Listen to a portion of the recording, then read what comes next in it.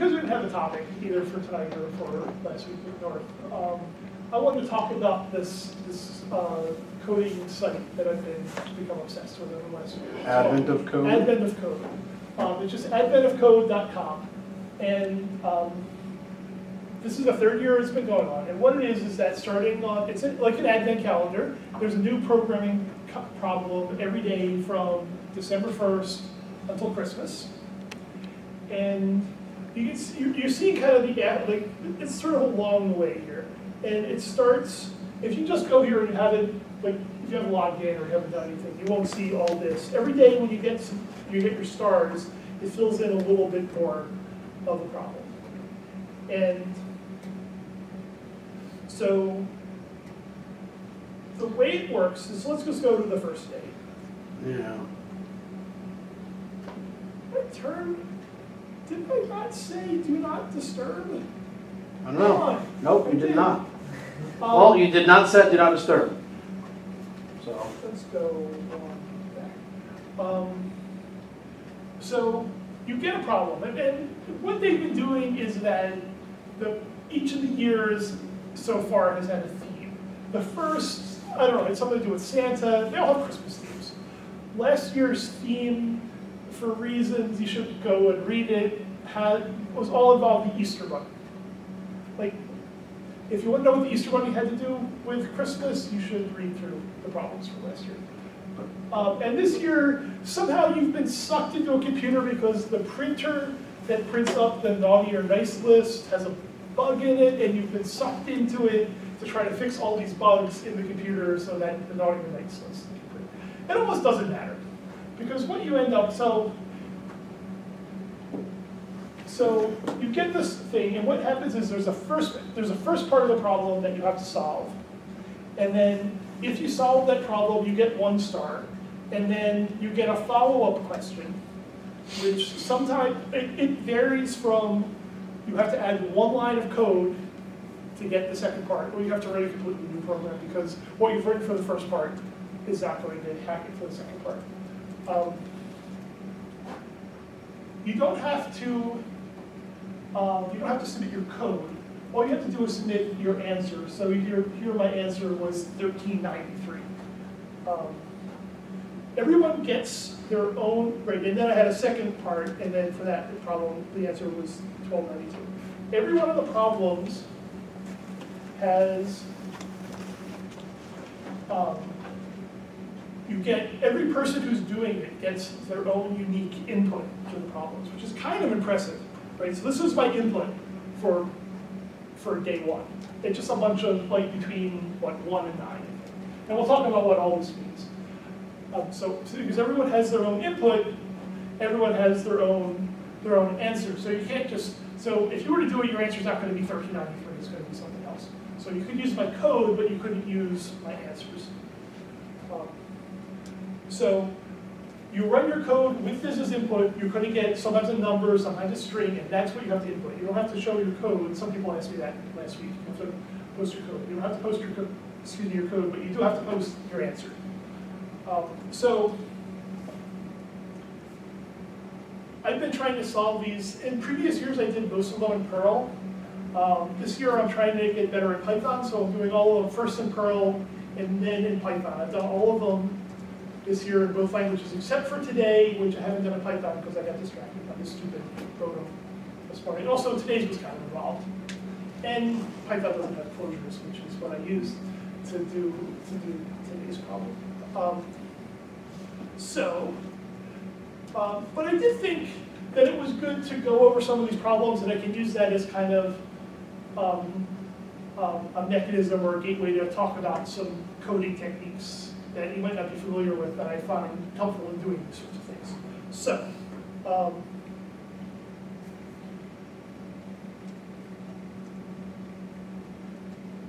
so for problem one, what do we have? We got a we have a we get a list we get a list of numbers. So can we make this bigger? Is that big? it's pretty big. Is it big enough? Okay. Yep.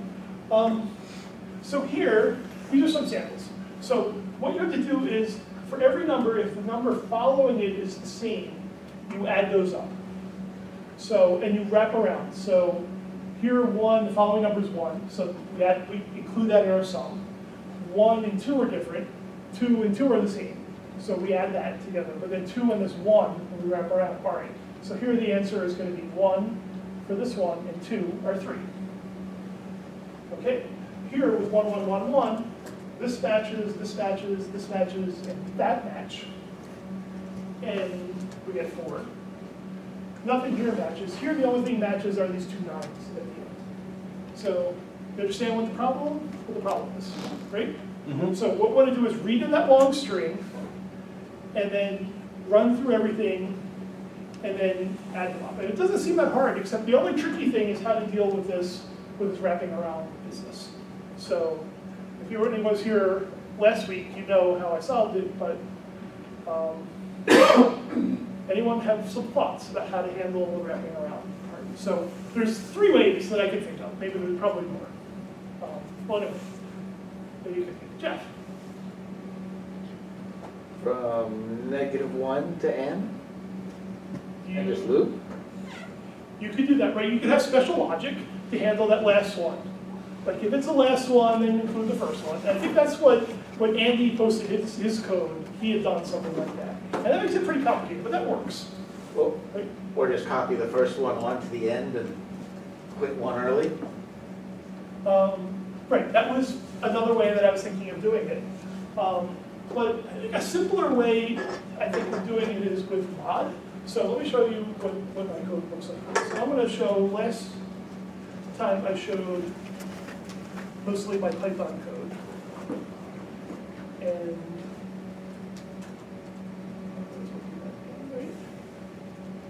Um,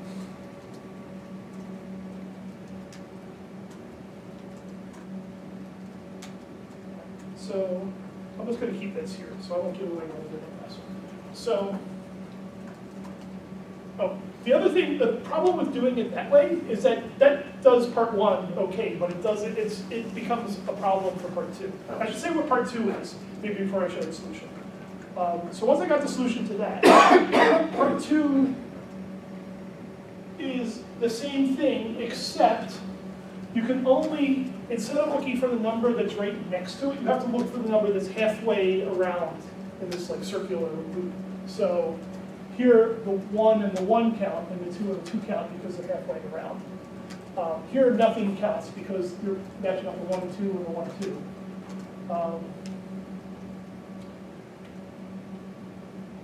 And what happens if it's an odd number? Or are they I think they're all be- even. I believe that they are all even, just the end of this. I think just supposed to add them, I think you're supposed to add them and not just do that, so. um, If only I had code that could do the rotate, rot thirteen. Ah, but we do, and I will show you what I did. So, So you should build a class and implement a circular list. right, but you kind of don't need to do that, so I'll, I'll show you what I did. So you understand the problem. So here you have to find the number that's halfway around from where it was. Um,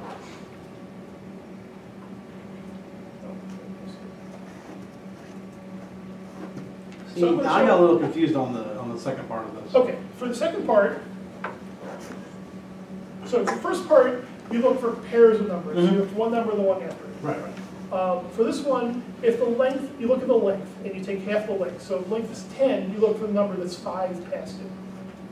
So, but you have to loop around. So Right.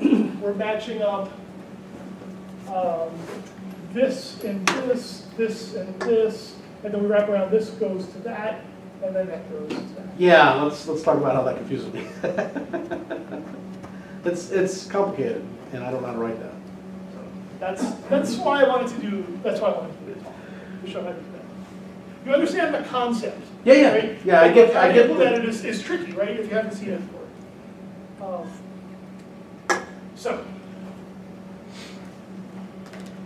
So some of this is just boilerplate, I read in the file name from the command line. Um, I just open it, I read through line by line. Um, I learned that I don't need to put, I need, to- I'm gonna strip the new lines off at the end because you always have to do that, pretty much always have to do that. Um, I learned that this is the default, so I didn't have to put backslash in there. Um, And I'm gonna sum them up, I'm gonna initialize the sums to zero. Um,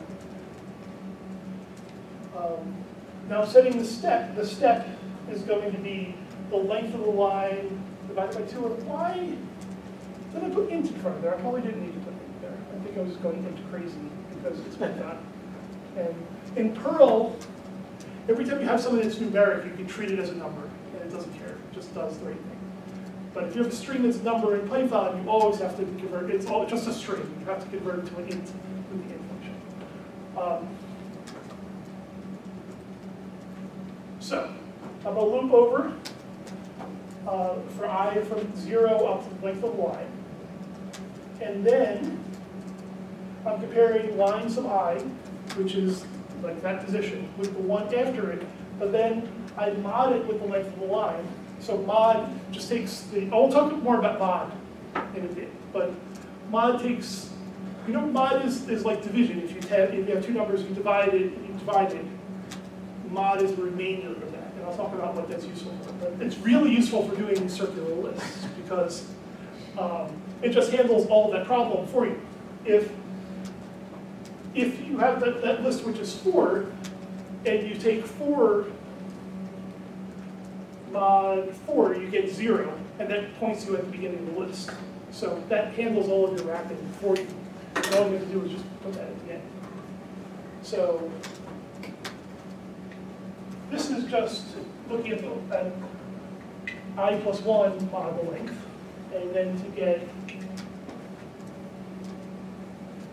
the one that's halfway around, I computed what that step, I should scroll it down a little bit.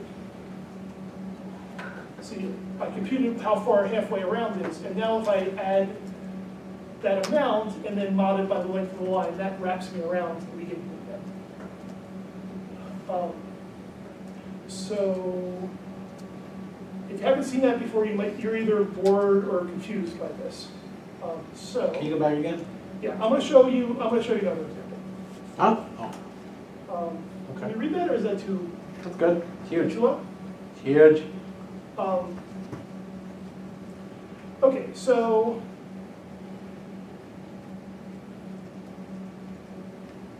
So just to show how mod works, so if we have four mod zero, oh, we can't do that. Everything's gonna be mod, so say the length is four, let's say this four, so zero mod four is zero.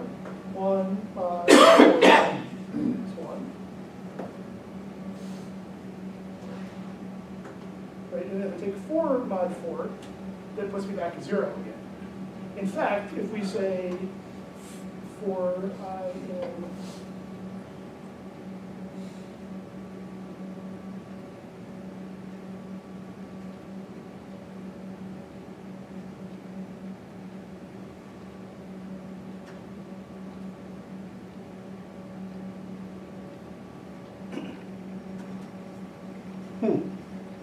So this is like really useful. So this is a great way of getting something that cycles around.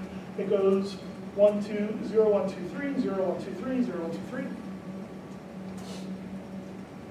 Yeah, okay. So mods give you a way to cycle back around to zero again, kind- almost for free with just that one function. Mm-hmm. And it's, I probably have used mod in half of the problems, which is just useful for so many things. Another thing it's useful for is, let's say instead of modding it by four, we mod it by two.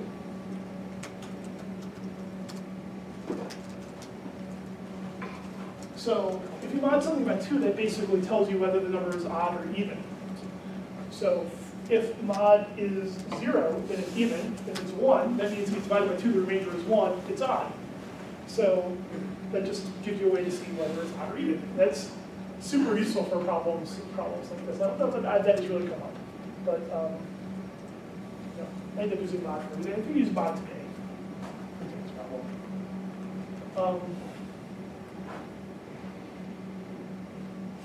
It's also useful, it hasn't come up for this, let's- if you have, dealing with times is another thing, so suppose you have like a hundred and four seconds, right? And you want to know how many minutes and how many seconds it is. So if you divide it by sixty, you get, we're gonna be getting towards one, right? So that's how many minutes are there. But if you mod it by sixty,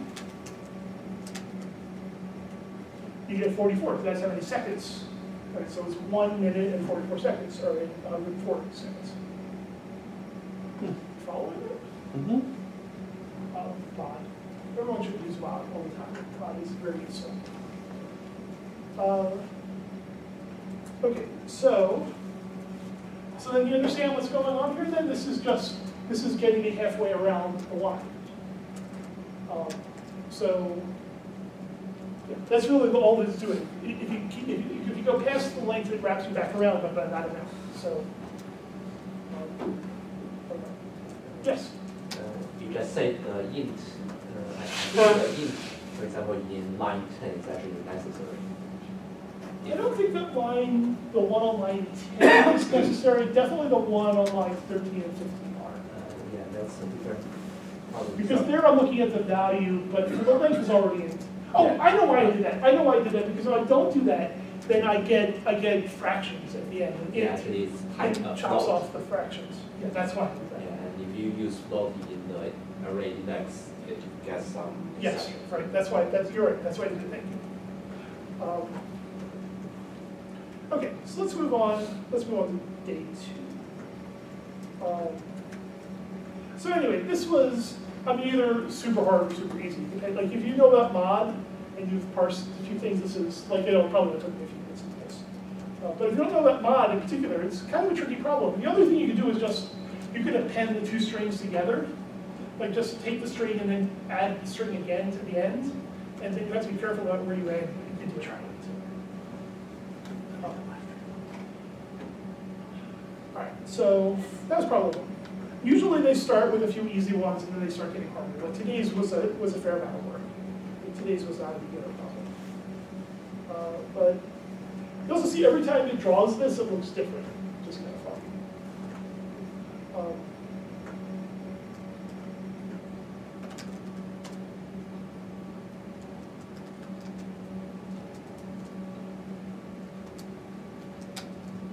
Okay, so was, a fairly straightforward problem too. So for this one, you got a bunch of numbers, a bunch of rows of numbers. For every one of the rows, you had to find the largest value and the smallest value, subtract them, and then keep a running total of that for every one of the lines. And then your result was just the sum of all of those things, the, the difference between the largest and the smallest one. Um, So for this one, the largest one's nine and the smallest one's one, so that difference is eight.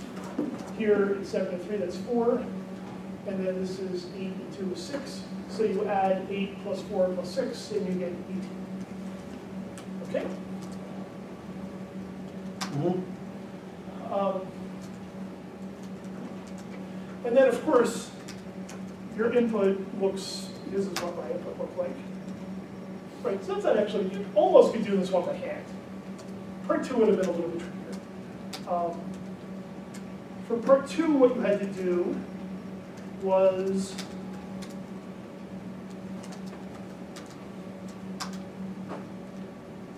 um, for every one of the lines, there was a pair of numbers such that um, one of the numbers, that, that the smaller, a smaller one divided the larger one evenly. So you had to find the pair that were divided evenly, do that division, and then keep a sum, a a running total of that. So for the first one, eight and two divided by each other, that's four. On this one, it's nine and three, that's three. Here it is three and six, so that's two. All right, so follow, follow that. So, so what do you have to do? I mean, you have to, you have to be able to read in the numbers. You have, you want to split them all apart, and then into an array, and then loop over. Okay, Jeff looks puzzled. No, no, I, I'm, I'm trying to pre-calculate something.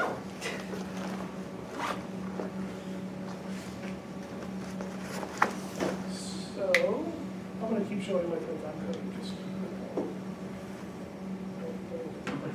Day one again. What? Nothing. Will we go back over to the day one? I don't know what. Yeah, I'm still trying to get that one sorted now. Are there ones and zeros in here, or do they get eliminated because they'd be a problem? Is this, what day is this? This is LD two. Oh, there's ones, and there's zeros, never mind. Are there ones and zeros? There Looks are. like there are. Where's there, where's the zero? They're all two and, they're all three and four digit numbers, aren't they? Now here, I'm sorry, here, every one of these is one number, so you're looking for pairs of numbers. Every one of these columns is one number. Does that make sense? Oh, Right, every one of the columns is one number. So they're divided by three tabs. okay, so, wow. That last number, two nine, on the top column, two nine six three, that is the number. That is a number, that is a number. Never mind, I thought I only have to worry about the digits. No, you have to worry about the whole, the whole number. Oh, now there's real math involved, damn it. Well, there's not so much math for the first part, right? So the, for the first part, I'll show you, okay, so.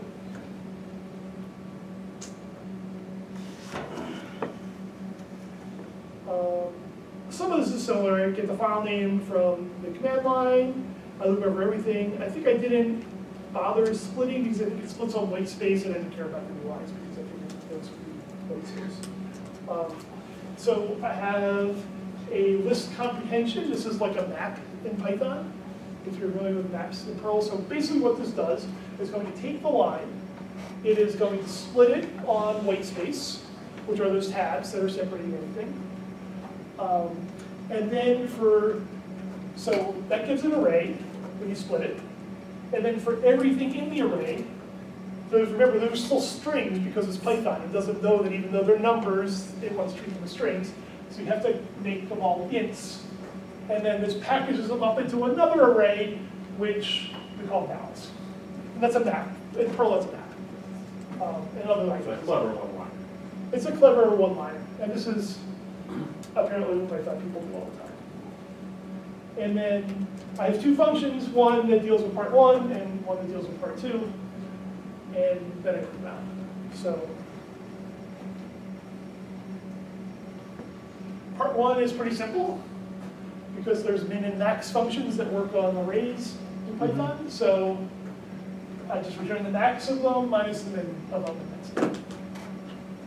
Um, Part two was a little trickier. I probably had more code because I was trying to be more efficient, but it doesn't matter. I mean, I just look over the two ranges. Um, no, I loop over. I look over the range twice, once from zero to one before the end, which is what this is doing. The other one starts from one past i and goes all the way to the end. Um, I just look for the ones, like if the first one's greater than the second one, then I call x and y that. If otherwise, I, you know, I just sort out which is the largest one, which is the smallest one. That's which is what all this is doing.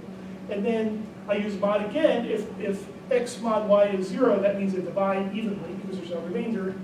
And then I return int of x over y. Again, I'm just doing that int because otherwise I'm gonna get one, zero, zero, zero back. And that's about all that we have to do for this. So, the key things for this are that you can use split to split everything on white space, and I do that a whole lot for parsing. So, it looks like it's hard to parse, but in reality, you just split, and that's what you have to do. So the Perl code looks pretty much the same for this. Did you contemplate sorting before you did part two? Um, I did And, not, and, and reversing the second, the inner loop to go from biggest to smallest? I did not.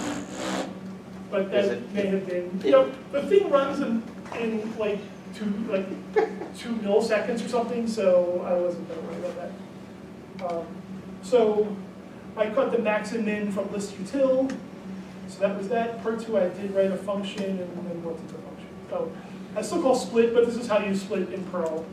Um, So I did chop it and then I just split on, on spaces and I put it in there. Uh, So you don't have to, you don't have to do that long list comprehension because they're just numbers and you can treat them as numbers. Um, And this has lots of dollar signs in it, but it's exactly the same algorithm that it had in the other one. In fact, I wrote this first and had to do the other second. Um, Any questions about that? So the next one was the one that lots of people had trouble with. So just, uh, just stop me. If you have questions.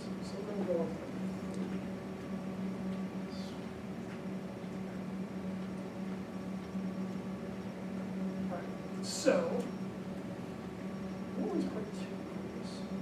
Oh, right, that was completely different. This is the one where parts one and two are very different. So this was a more interesting one. Um,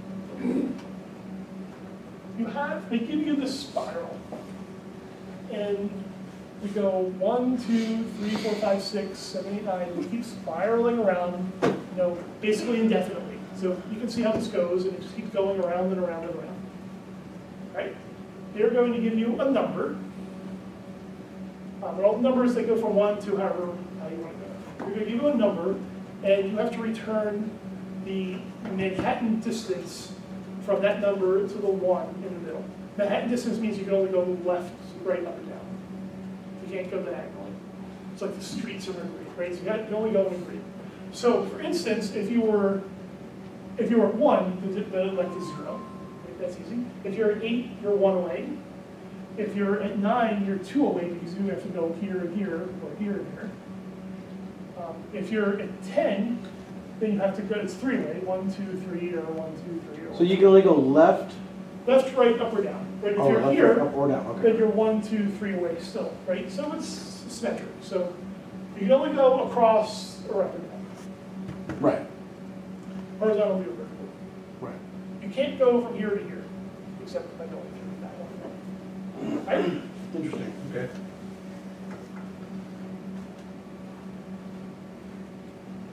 And what was my number? My input was, yeah, this was my input, two eight nine three two six. So I had a very big number. So how do you, how do you solve this? So it turned out that I was working on these other center problems over the summer called Project Euler, which are a whole bunch of math, math problems. And two of them had this exact same spiral in it. Um, This is one of them. And the actual problem isn't that important, I think they were looking for prime numbers or something. But, um, they told me doing this, that you never had to generate the entire spiral, that there were patterns in it you could use to your advantage.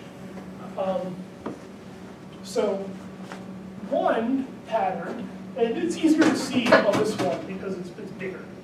Right? It's seven by seven instead of like five by five. or whatever. One is that these numbers going down diagonally are um, all, they're all, um, they're odd squares. So they're all the odd squares. So it's three squared, five squared, uh, seven squared. The next one would be nine squared.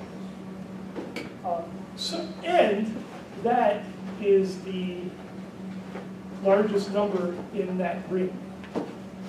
So, if you have that number, you can use that to know what ring you're in. So you don't have to generate the whole, the whole spiral. You really only have to generate the spiral that you have, the, the ring of the spiral that you're in. Right, so if my number, so for instance, if my number is between nine and twenty-five, then I know that I'm in this ring here. Right? And it also turns out, so if I were at the north, south, east, or west points, I know my distance to the middle is just what ring I'm in. So if I'm at, if I'm at uh, 23, I'm in the second ring and my distance is two. If I'm at 40, I'm in the third ring and my distance is three. So if I know how far I need to get to north, south, east, or west of my ring, I can just add that to the, the ring number that I'm in, and then that's how you can solve it. So, and it turns out that these numbers also go up in a pattern. So this one is, this one goes up by nine, by 11, by 13, by 15, by 17, and kind of goes around like that. So you can generate the north, south, east, and west axes, and you know the largest number of corner, you can use that. So, um,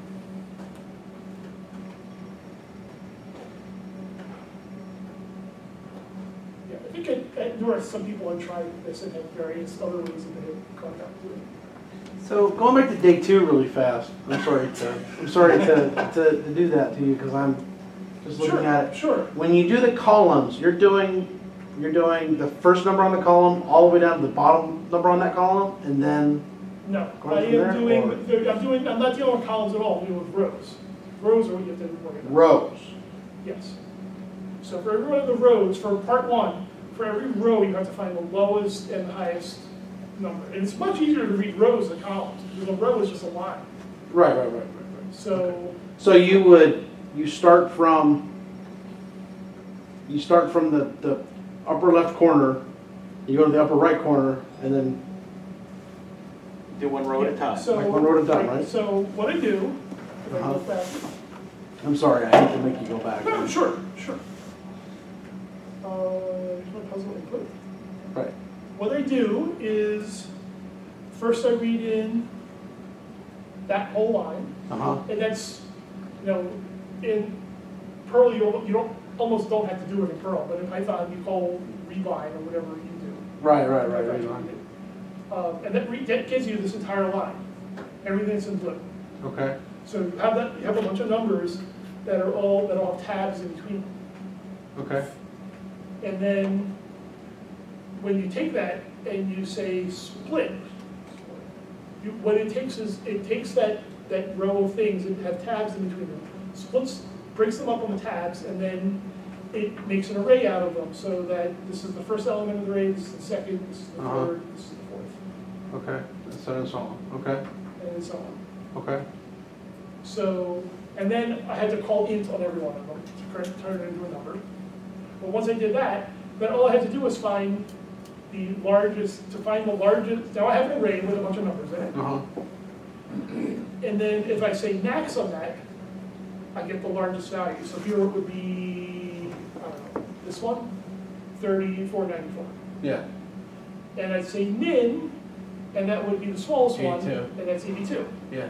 And then if I subtract those two values, I get whatever the So- is. You don't have to worry about all the other numbers, you just have to worry about those two? Because you only need to know about the minimum and the maximum value. That was what the problem was. For For, problem for one. problem one, for problem two, you have to look at all of them. But for problem, well, you still have to, but you only have to do it to find them. Like, a lot of work is getting, so let me- let's bring up that code again. Okay. Um,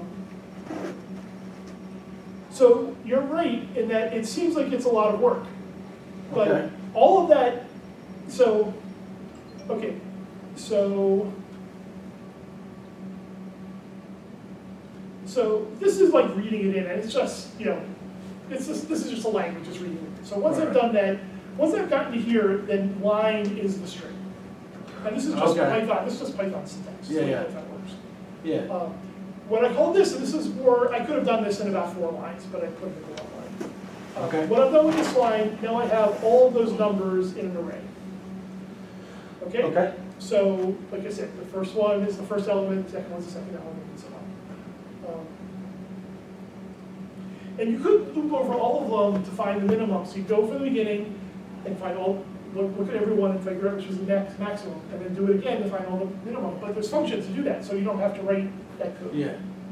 So, and that's what We're is. seeing max vowels, min vowels, Yes, so max vowels is going to return the maximum number Right. in that string, and min is going to return the minimum, the smallest number in that, in that string. right, right. And then if I subtract them, I get the answer that they're looking for. Okay, I think I can Follow that? from there, yeah, yeah, yeah.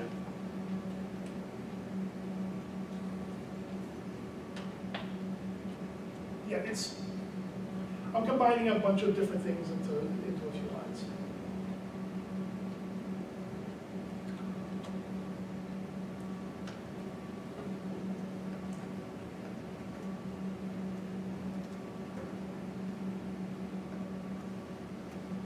I'm gonna, I'm gonna go on, if you want me to stop, or go back. No, go ahead. Um,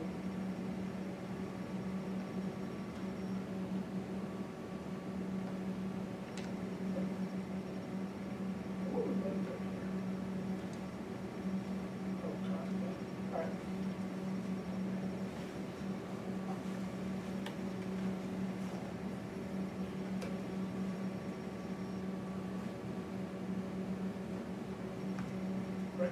Okay, so for this problem, we're pretending that we have passphrases. Because we're inside a computer, right? And we're looking at their, their, like how they're dealing with, with passwords. Um, And here our passphrase are just a bunch of random strings separated by spaces. So here it's just AA and then DD and CC and DD and then, okay? So we treat those, each of those random strings separated by spaces as a separate word. And then the password is valid for part one, so long as all of those words are unique. So here, they're all unique, so it's valid. Um, Here, it's not valid because th- there's two AAs. And here, it's valid because even though this, this, uh, this aren't the same because this is one character long, they have to be exactly the same. Right? Right. So, again, I'll ask, so how do we go about doing something like this? So we already know about split, because we talked about split before, so we're gonna talk about split. We're gonna, we're gonna, so we're gonna read in all the, oh, so this is what my input looks like, I I had that up on the screen before, I'll go back. Um, So for those, for those, we could do it by hand, but not that one. Not this one, which we can do. But like, this is what my input looks like, Yeah, there's like a couple hundred lines of this, so you can't do this by hand. Um, So, so we can read it in and we can split it, but then like, how, how are we gonna check whether we've used the same word more than once? Anyone? Plus Paul. Um, drop them in a set. Drop them in a set, very good. And Python even has sets, Perl doesn't have sets. Kazunai. I- I was gonna use them as the keys a hash, Right, so, which is basically set-ish. You could, al- uh, some language just implement a set by, as a hash, which has the same thing for the key and the value. yeah, so this is how I did it in Python. I just, I made a set, and for every one of the, I split the line, and for every one of the, um, every one of the strings, if it was already in the set, then I return zero for false. I probably should have returned false, because it's Python, they have true or false. Otherwise, I add it to the set, and if I make it all the way down to the bottom without having found one that was already in the set, then it was a good passphrase and I returned it. So it's pretty straightforward. Um, The Perl code works the same way, except that um, Perl doesn't have sets, but I usually mock them up by just putting one in for the, for the value in the hash. And it works the same way. Um, Okay, so that's part one, and part one is straightforward. Part two is a little trickier. Um, So now for part two, they, they, they, not only can they not be the same, they can't be anagrams of each other. Huh. Um, Right, so this one's good, but this one's not good because this and this are anagrams of each other. Uh, And I don't know, right, so you know what anagrams are. So how can we check for anagrams? Yeah. Jeff, anyone? I would take each of my words and make a new word out of them where they've been sorted into order. Very good. And they just compare the sorted versions. Yep, and that's what. You know where I learned this trick the first time? Um, because I, don't- I don't know that I would have thought of this, Yeah. I would have thinking about this. Um, in the Kernighan and Pike Unix programming environment, I think that was one of their examples, that they would look for anagrams in like user dict words. And that's what they did. So, uh, yeah, so this is Perl, um, yeah, um, I, I split it, and then this, like, split on nothing breaks the word up into characters. I sort that, and then I join them back together, and then that's what my list of strings is. And otherwise, it's the same as before. I think Python is a little less obfuscated. Maybe not. No, it's more or less the same thing. Uh, so people, people say that that Python's clear, but I'm not, I'm not sure that's a whole lot better than most people. Um, anyway.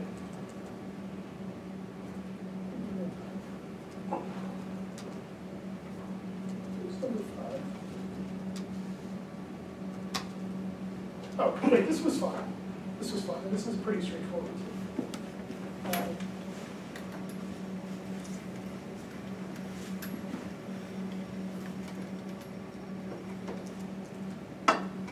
Each jump, offset, and then instructions.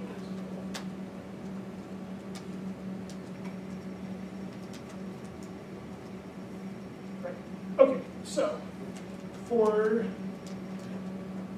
this one, we, they give a, a, so there's one number, which could be multiple digits, so some number of digits on each line, positive or negative. We start at the top, and then on e- every statement, we, we jump that many, that many statements, that many, that many positions, either down or up, down if it's positive, up if it's negative, and then we take what was there and increment it by one. And then when we fall out either at the bottom or the top, we return how many steps we go, we got out of it. So really straightforward, right? Um, And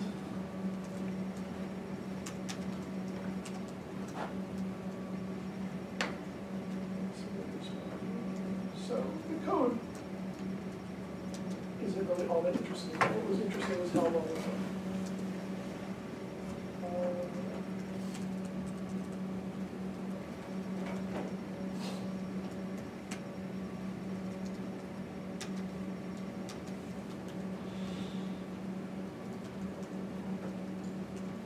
So, so to parse it in, I just for every one of the lines, I converted it into an int, and then I appended it to this thing called program, which is just an array, and then I start my instruction pointer at zero, number of steps at zero, and while, um, while I'm inside the, uh, the bounds of the array, I save off where I was, I add, you know, increase the, the instruction pointer by that amount, I add one to that old, uh, thing, and then, I mean, it's, there's not much going on here.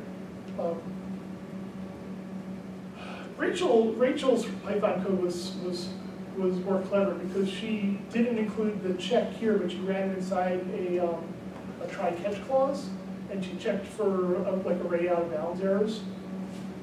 So she, she let Python take care of the bounds checking instead of, instead of having to explicitly. Um, So for part two was, was the same logic, except that if the offset was three or more, then you decrease the number by one instead of increasing the number by one, which made the number of steps get really, really big. So you see my answer was, whatever this is, like twenty-six million steps. Right, And my input was, you know, it was all really, really long list of numbers. So, I mean, like, so the code isn't that interesting, but I thought the timings for this were really interesting, so. Day five. So, uh, time, Perl, is two.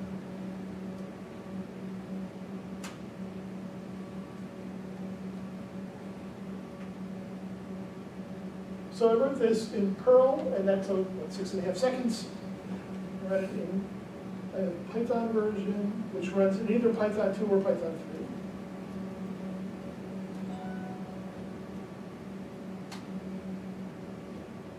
Just call Python 2, it's just Python.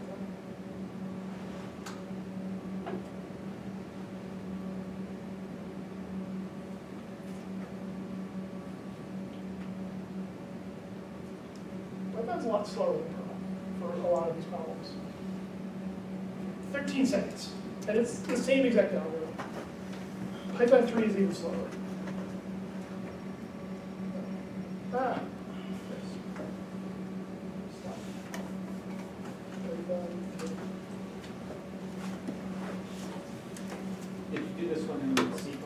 Did do this one? I did. Okay. Very next. interesting, very interested to see. That is next.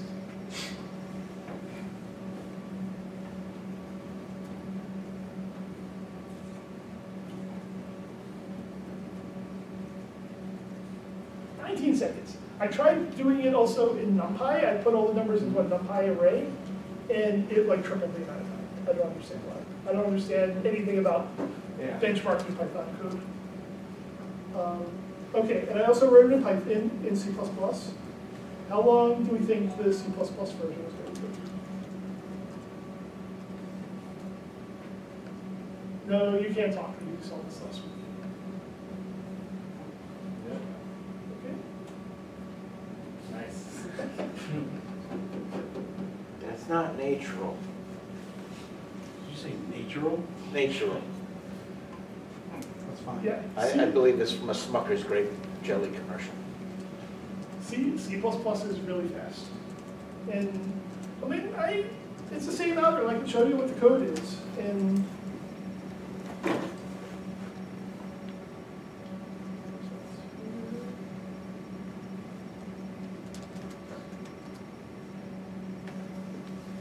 I put the numbers into a vector, and this is the whole body of the code. It's the same that everyone else is running. Um, I, I compiled it with Dash O3 because like I wanted to run fast. I don't think that's I don't think it's cheating to run compile it with Dash O3. Um, I didn't turn any of the other optimizations on. I didn't like do loop unrolling or anything like that. Um, and it like I think by definition can't do instruction prediction, right? It can't predict that far ahead because it's jumping around all over the place, right? So I I don't know why the Python code is so slow. Why, why, like, there's, I found the most bizarre things in Python.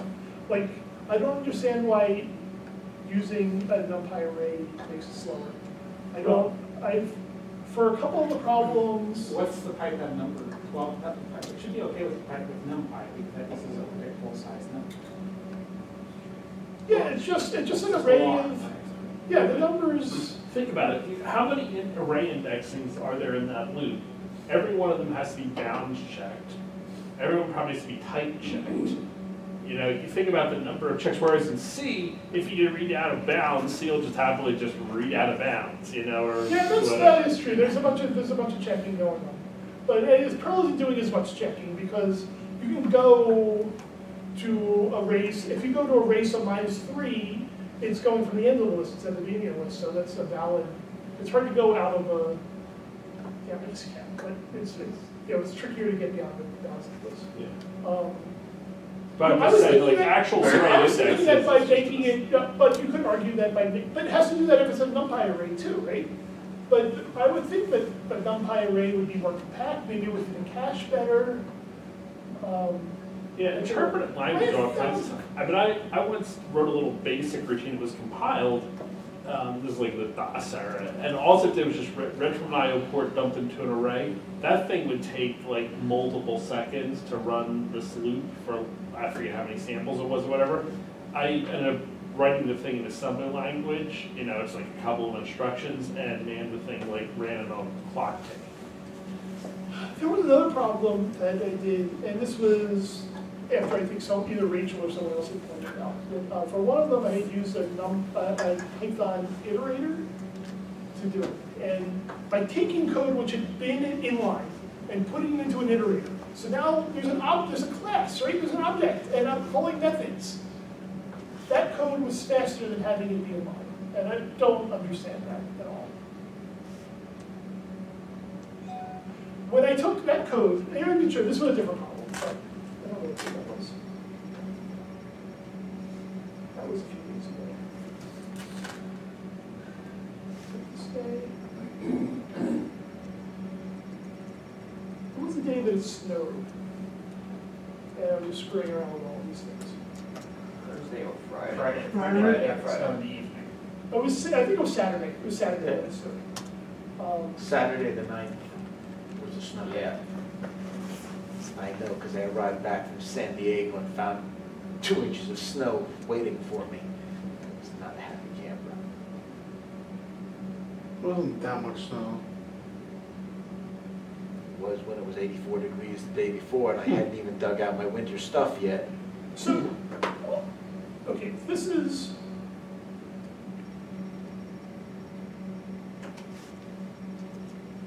This is what the code looked like before. Right, it doesn't matter really what this is doing. But this was the code, really like these couple of lines, is like these three lines are the length of code. I took that code and I put it into an iterator. And it ran like fifty percent faster. I don't, I don't understand why.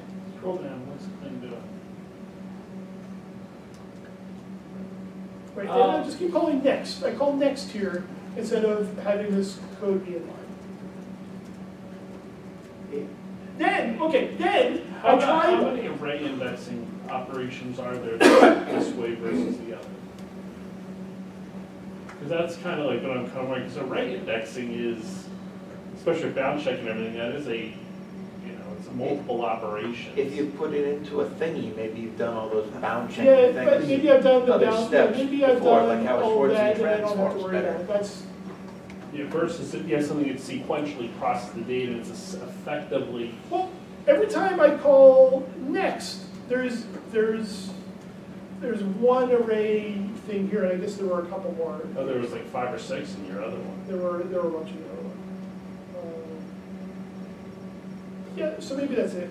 So every one of those, you're gonna calculate an offset, you're gonna find multiplier, and every single one of those is gonna get bound checked, type Right, and that explains why, when I took this line here, which was basically the same line, and I made a separate method for this, so that I just call like value, I made another function called value, and did this in it, and I called it twice, that slowed it down again. Because now there was a, another method, another subroutine call and everything. I, Yeah, I mean, I don't know what it is. I because, I mean, in theory, it can be done quickly, but it's just, there's probably Python because of, you know, it's type on, or type safe, or safe, I don't know what to call but, you know, the hand holding stuff probably adds overhead depending on, because in theory, they could check, if you never assign, if they check the variable and you never assign to it, they could not have to check it again, but if they don't, then, or they do, then So then I, I thought, well, I, like, how could I do this in C++? Because C++ doesn't have iterators. And then I thought, oh, it does, because iterators are just like syntactic sugar. All you really need is to have a class with a next method. And that's what I did here. And uh, I think it was called gen next value. Oh, no, here it is. And uh, that's what I did, and my C++ code still ran, I'm like, well, under a second, so. uh, So, oh, and this is the, I can show you the code, and, we're kind of running out of time. Uh, This was today's code, which was probably the ugliest, this is not the stuff that I'm most proud of, but this is an array of, of uh, closures, and it gets super ugly. Um, So, I don't know, it's to interesting. What? try COBOL. I have not tried to. Um, I've done them all in Perl and in Python, except for today's. And a few of them in C++ when I felt like it, and the the parsing wasn't too hard. Um, And, yeah, so, I don't, like, there's, there's a few things in Python, like, it's been interesting for me doing all of them in Python, because I keep learning more Python, and I have to say that, you know, if you put a gun to my head, I think there's, like, there's some good things in Python, and for some things, I might say that I like them better than Perl if you put a gun to my head. Like, you don't end up with, with all this, like, if you're iterating and all you have is like dollar I, like I and J and K, you don't have to put the dollars in front of it, it makes the code a lot cleaner. Um, the thing I hate, the- I've hated the most about Python, that's caused me the most issues, is the fact that every time you have, you can't just write a regular for loop in, in Python. You have to loop over a range. And the ranges all go to one less than the, the last value. And some, a lot of times that's what you want, but sometimes it's not what you want. And you always have to be conscious of it. Whereas in Perl, you can go to the end, you can go to one minus the end. You can do whatever you want. You're not forced to always be one minus the end, even when it doesn't make sense. Does range, does, is that zero based with range? Yeah. But you can't do, so you can't do one ten, it's like, it's like zero two and. So all of these are, all of this is really doing, Does, does range have a two parameter version, like you range one comma ten? yeah. So you could do it that way. And I think it's got, it's got a third parameter for, no, no, you can't. Because one comma ten will go from one to nine. Really? Yes. Yes, that's the way it works. It always goes to one less. Even when you're iterating, you can also use that for array, array indexes for like slices, and it still goes one less there. And it's a pain in the ass. Um, I don't know, let's look at this. Um, How you making out there, Pike, David? Get number, get number two working yet? Number Huh? one? Is that? You get number one working? Yeah, well, that's fine. Yeah. So, so I, I think these are good, I mean, I think they're, these are good, I think they're good problems They're for. great like- problems. What? They're great problems. They're great problems for people at a variety of levels of expertise. Um, You know. um, Because I think even the first couple of them, were the ones that I found to be pretty easy, are, are a pretty big challenge if you're just, uh, if you're, uh, um, you know, you're learning programming. And, you know, it's a good way to kind of get your feet wet if you want to, like, because there's all these problems that I, like, I don't have to think about it. Like, anyone that's done a lot of these kind of parsing, like, you know exactly what you have to do. But if you don't, then you really have to think about how, how you solve the different problems. Um, Yeah, I'm having, I'm having some problems with day two. With what? Day two. Day, day two. Um, But, yeah, I mean, Bring your laptop to dinner. like, I've been working on these of things for, like, I've been programming Perl for over twenty years. So a lot of this is like, I don't even think about it, but, uh, but at some point I did have to think about how you solve these different problems, right? And, um, um, yeah, and for, and, and even if, even for me, who've been doing this for a while, I mean, something like today's was a big challenge because you have to, you're basically implementing a small little computer program. Like, you're, you're, you're, you're emulating this stupid computer that you think you found that has a, that's not different commands. Which is why I ended up doing this, uh, doing. Um, So.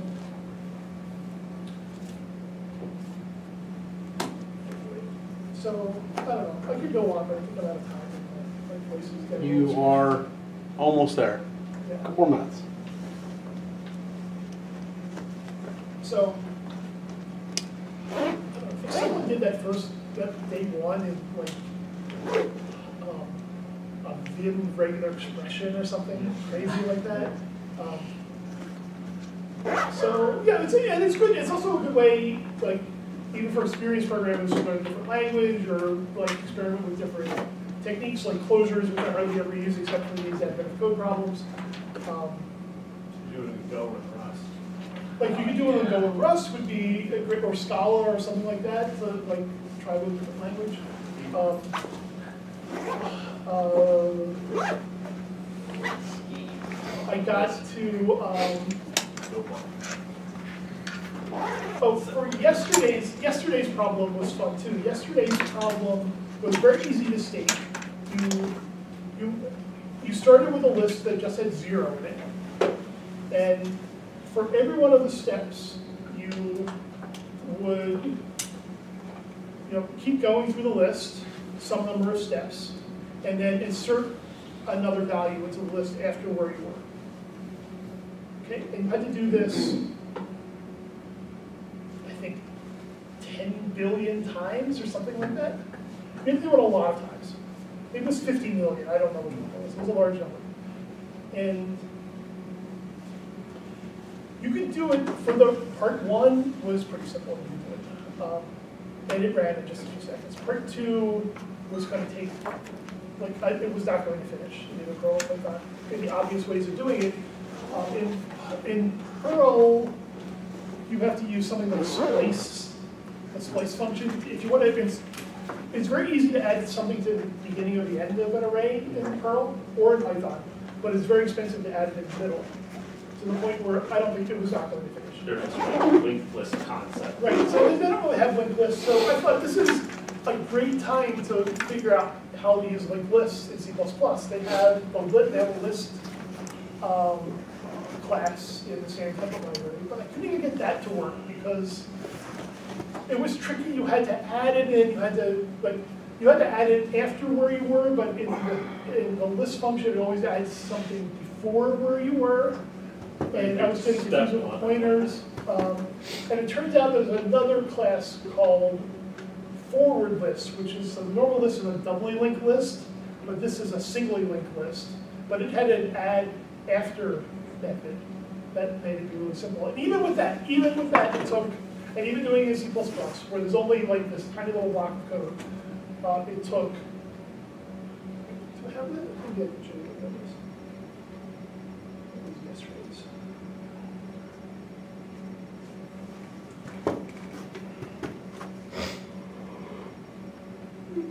By the way, guys, for the record, the Senate has, is uh, considering doing a- an emergency vote to, or not an emergency vote, but a vote to restore net neutrality at least. Whoop. Boo. Or they're considering it. So call your senators. This is where, where's the, insert after, right, that was it. So this was like the whole thing, right? This is the whole block. And it was going to, it took about fifteen minutes, because you had to go up to some enormous number, like, uh,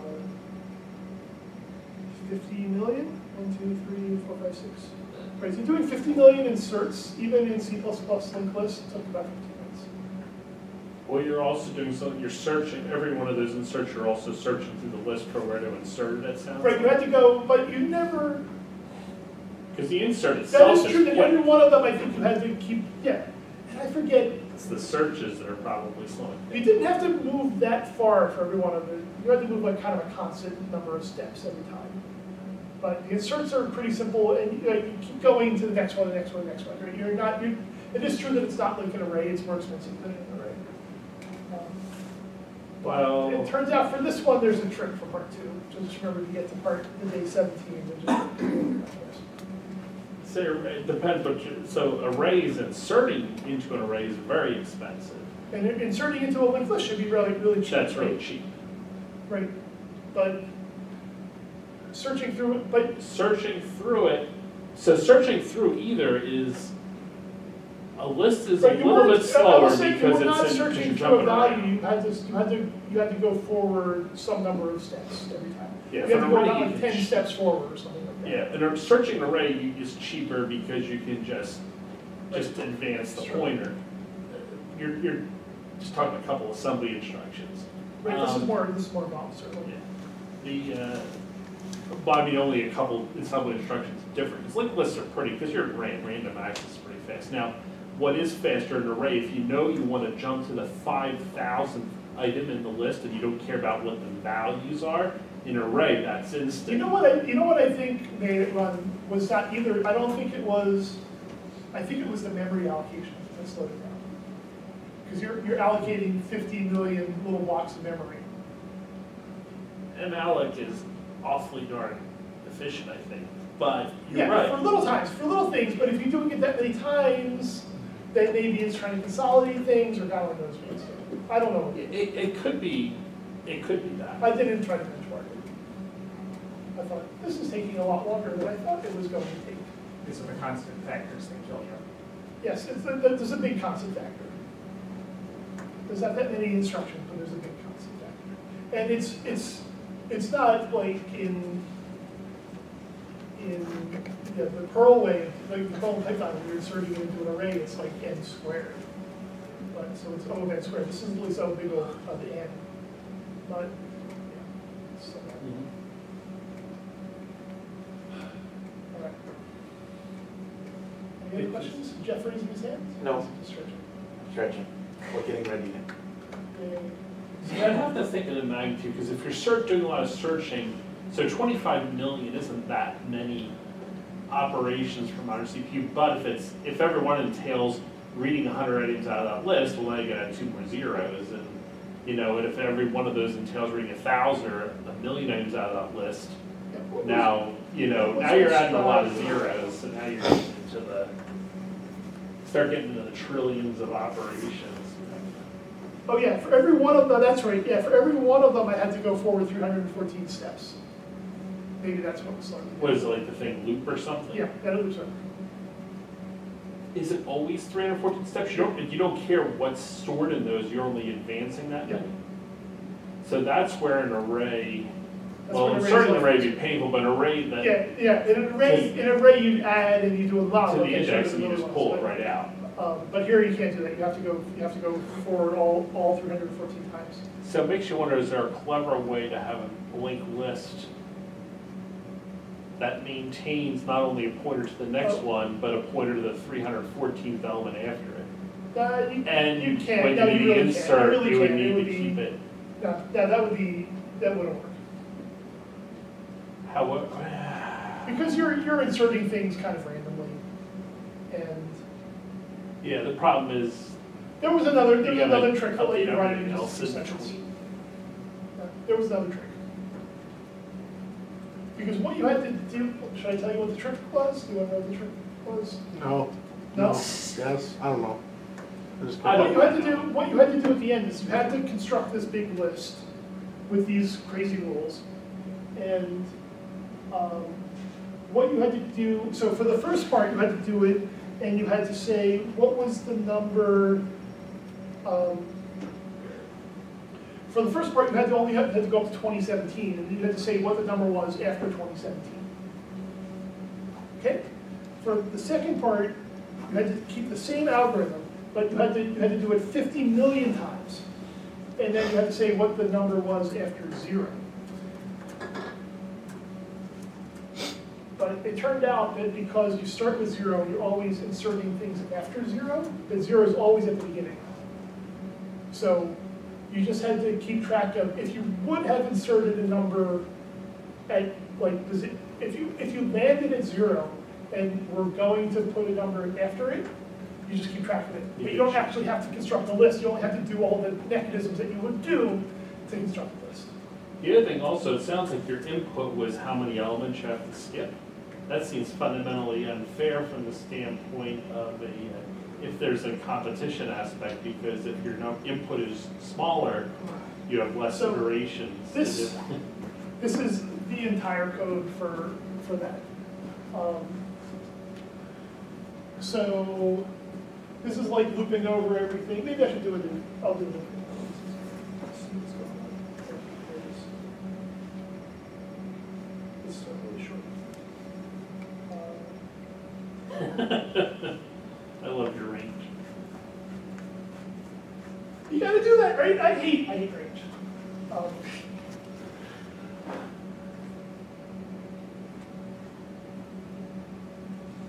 So, you read the stride in from the command line, turn into an int, and that was like three hundred and something, right? That's where I wanna go to. Um, I start with a length of one, that's how big my quote-unquote array is. Um, I start with the result of zero, my pointer is at zero, and for everything here, I added the stride to that, and then I mod it by the current length. If p is zero, that means I've landed at the first one, I'm just gonna insert one right after that. So I just keep track of what my result is. I add one to p, and I just keep doing it, right? And now it runs super fast. Oh, yeah. So it's che- you know, it's not cheating when it ran 15 minutes before, and I'm wondering, oh, is it gonna finish at all? And No, no. I spent a lot of time trying It's to get it. fair, to it's work. answering, it's answering the question. You wouldn't get the right answer, but we're, you know. Yeah. Sometimes they have tricks. Okay, so, So pain is kicking us out. no, no, yeah. Very good. Uh, we do go to the office afterwards.